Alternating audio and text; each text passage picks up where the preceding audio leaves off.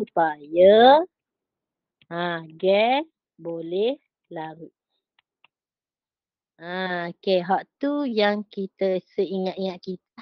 Bila kita jawab soalan, awak kena tahu selalu permukaan respirasi dia ini adalah alveolus. Bila alveolus mesti pergi kepada ciri. Apa ciri dia? Nipis. Bilangan alveolus banyak. Lembab. Ha, besar lagi. Dikelilingi oleh jaringan kapilari darah yang kita nampak ni. Ni jaringan kapilari darah ni mengelilingi alveolus. Jadi bah, banyak. Okay, apa soalan dia? Okay, terangkan bagaimana struktur dalam rajah 6.1 diadaptasi. Ha, maknanya diadaptasi pada ciri dan penyesuaian. Ha, dia nak apa? Dia untuk meningkatkan kecekapan pertukaran gas. Ha, dia fokus kepada kecekapan pertukaran gas. Okay, jadi kita tengok jawapan yang kawan kamu dah dan juga bagaimana pemarkahan yang sebenar. Okay. Hmm.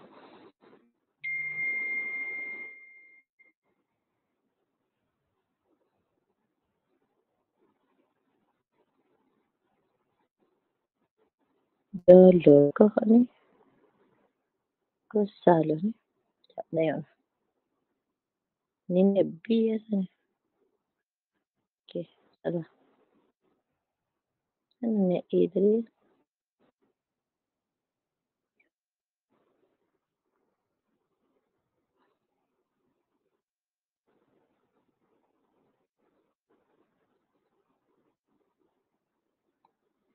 Okay.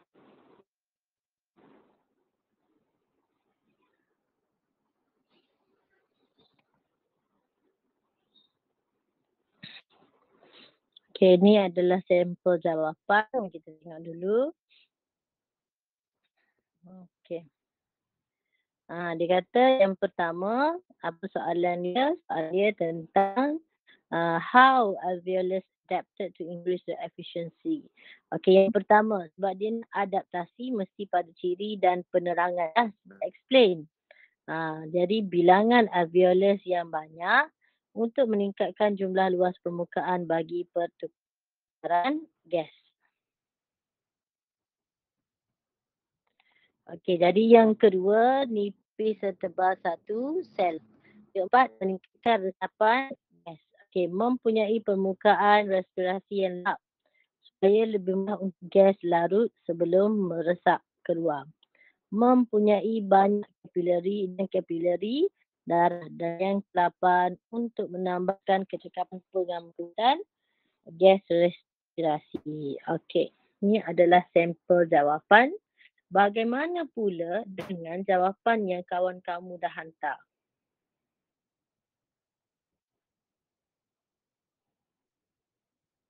Sekarang dengan skema ya.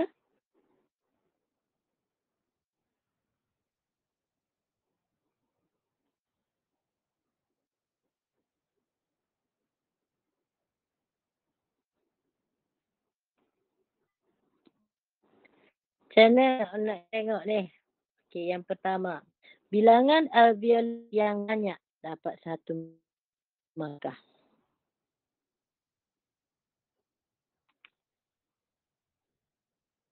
Yang kedua, ah ni satu.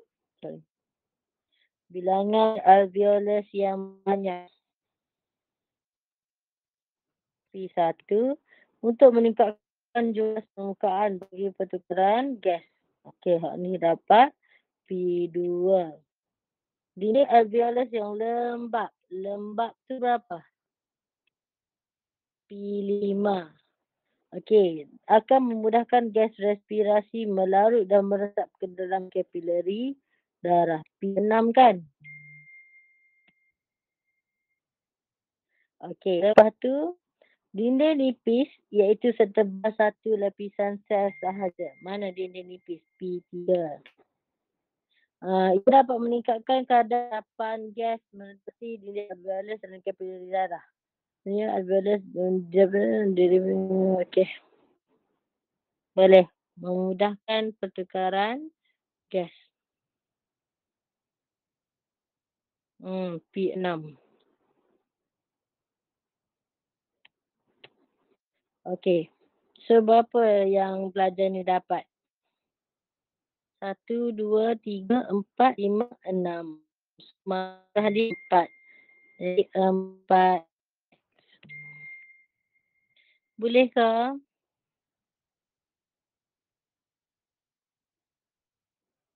Boleh. Boleh. Okey, tengok lagi Faris tu. Ha, jadi kalau kita tengok sini dapat empat. Ha, okey. Saya ni nak buat kelas metai ni sebab saya ada tetamu. Jadi saya nak awak buat siap ni. Kijak eh awak ni awak kena siap dan hantarkan. Ha, saya akan semok. Tapi saya tengok jawapan ni cara tu tu bagus. Alhamdulillah. Okey, kita tengok soalan B. Habis je soalan hak ni saya bagi masa kepada awak untuk buat pembetulan. So, ya, awak siapkan comel-comel soalan ni dengan jawapan. Lepas tu saya hantar. Guna pen merah deh. Habis hak ni off Google Meet.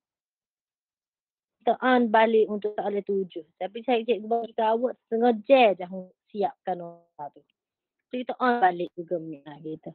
Darjah 6.2 menunjukkan dua uh, dua orang pendaki di puncak Gunung Everest di Banjaran Himalaya dengan ketinggian 888 dari arah laut.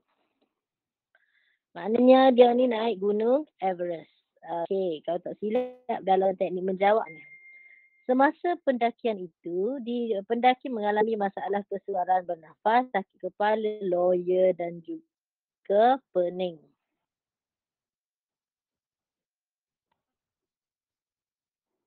Okey. Terangkan. Soalan dia apa? Terangkan. Arahan dia terangkan bagaimana sistem respirasi ke dikawal atau untuk menyesuaikan diri dengan situasi ini enam markah. Okey, mari kita tengok bagaimanakah uh, kita nak menyemak. Uh, dah.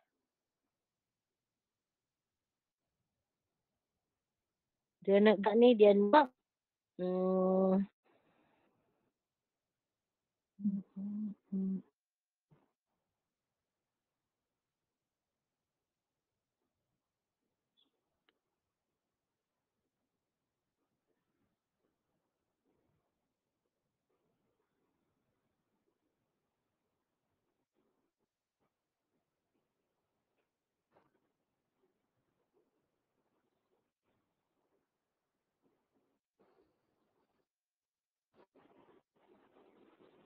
Okay, cikgu baca dulu jawapan ni. Baca molek. Apa tak pergi. Nampak ke?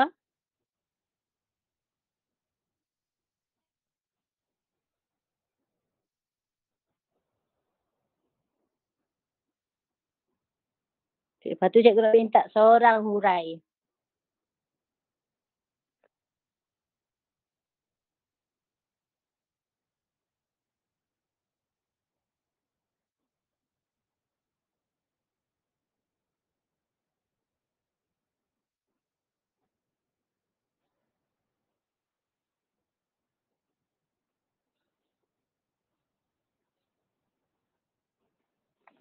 Okey, dah?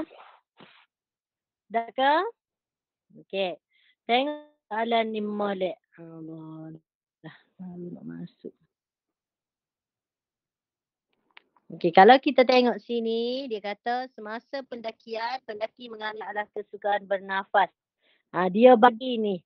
Ha, stimulus dia, kesukaran bernafas, sakit kepala, loya dan pening.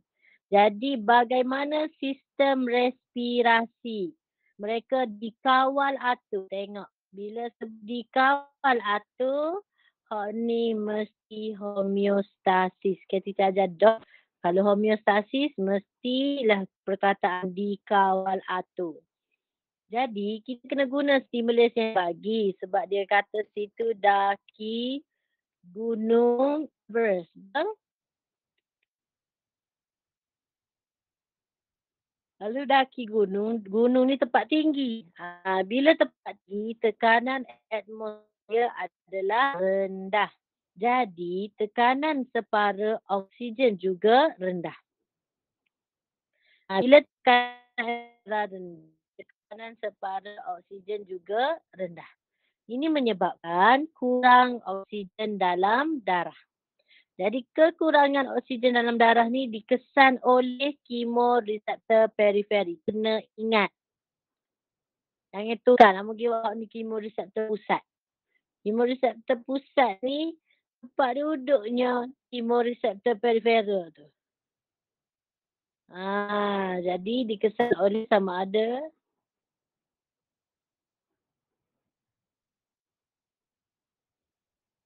Ingat ke? Dengar teacher. Ha, sama ada uh, dikesan oleh kemoreseptor periferi ataupun jas, awak masukkan uh, jasad aortik dengan jasad karotik pun sama. Ha, sebab kemoreseptor ni kalau awak ikut structure yang teacher dah ajar, okay.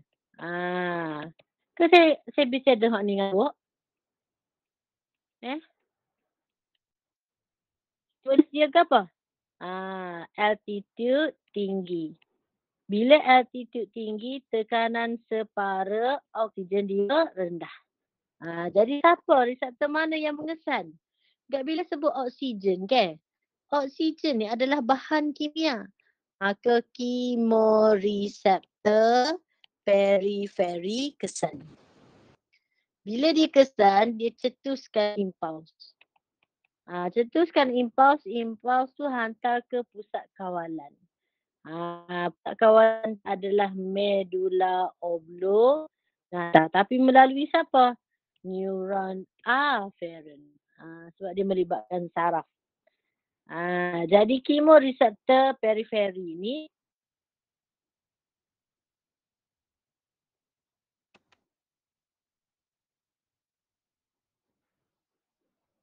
Ha, jadi dia daripada medula oblongata dia cetuskan impuls yang lain hantar melalui efektor. Okey, tapi dia melalui uh, pusat respirasi.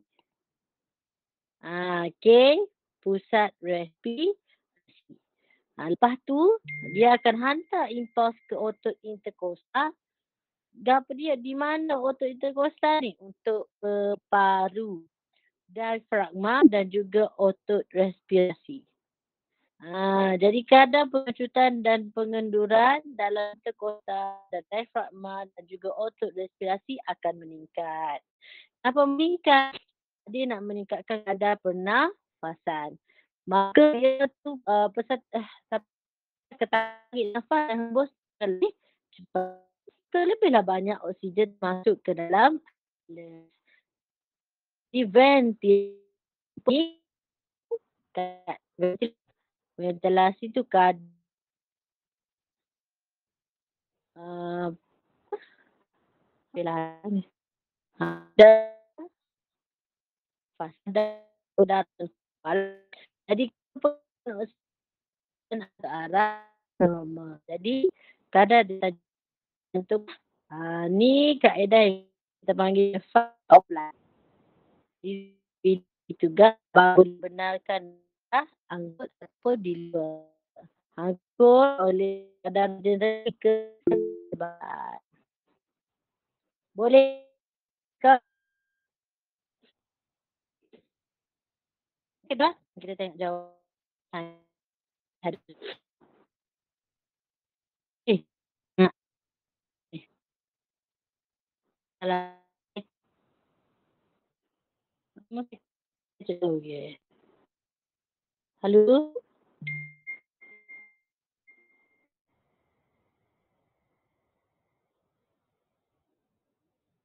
Hai. Teacher, suara teacher macam sekat-sekat. Nem uh, hilang tak mau. Ya, ini dan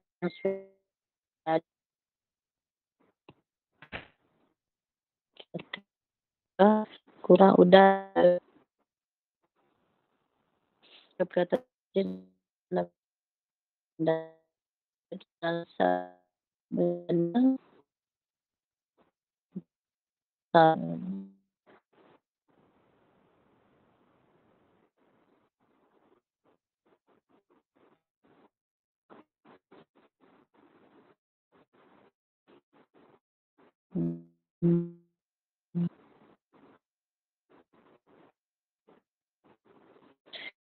Hmm. Respirasi. Uh, pengenduran pengenduran saya salah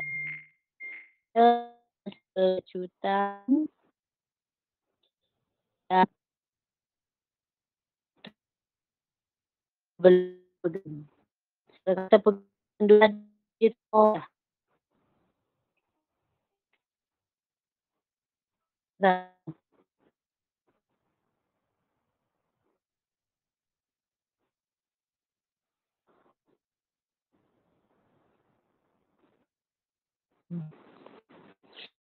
jadi nah jadikan uh, panggil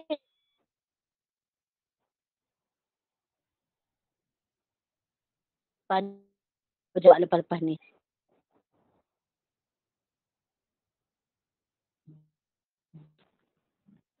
Kakak saja dalik.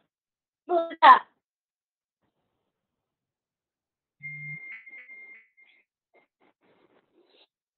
Okey. Berapa kita ada ni? Ada